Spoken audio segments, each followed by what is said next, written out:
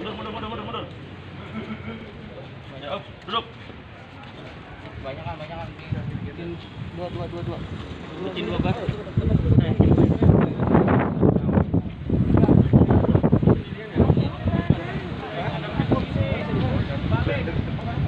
Thank you.